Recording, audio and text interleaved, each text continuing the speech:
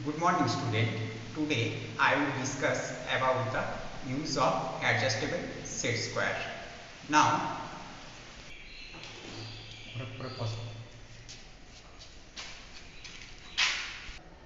student normally we are habituated in these types of set square which are used in most popularly. Here there are two set square is combined with each and other and by these two types of set square we can draw various types of angle like 60 degree 30 degree and 90 degree. On the other hand it has 90 degree 45 degree and 45 degree. But now instead of these types of set square in modern days we have used a combined set square.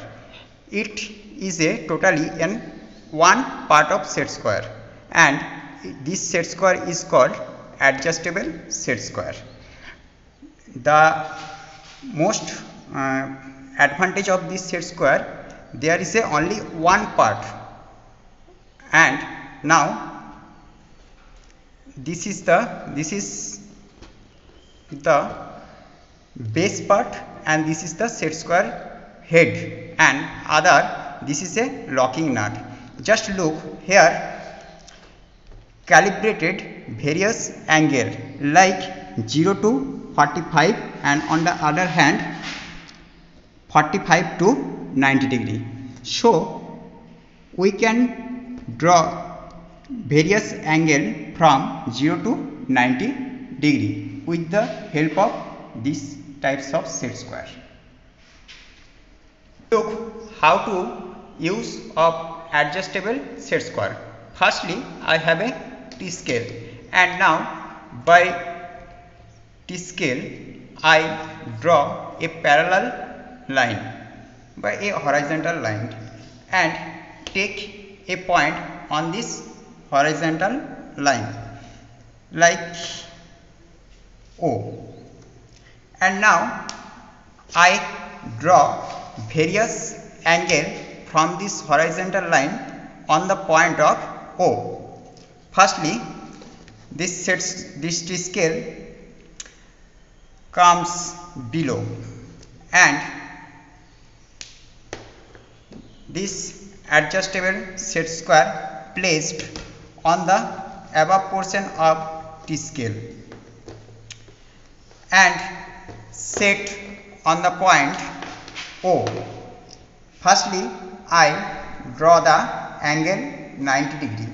So, I have to set the pointer of adjustable set square in 90 degree. So, now I set the point on the 90 degree and locked the nut.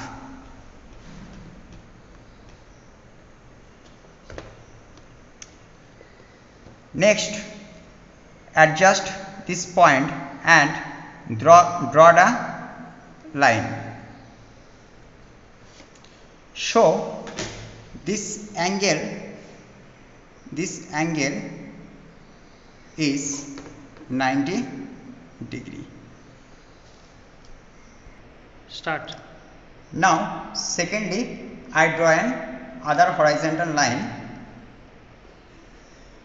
with the help of T scale and after that this T scale sliding in the down portion and take an other point O and then place the set square here. Students always remember we have to sliding this T scale always below portion otherwise we can't find the point of set square. And now here 90 to 45 and on the above 0 to 45 that's mean in this portion of set square is used for 90 to 45 degree angles angles. Just before I have draw 90 degree angle.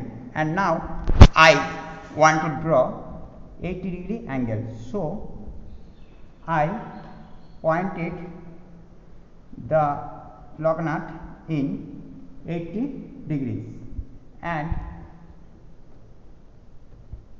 the pointed is adjusted and this angle is 80 degree. As the same if we draw the 70 degree angle then we set the pointer in 70 degrees. And now this is the 70 degrees. In the same way if I set this set square in set in 60 degree and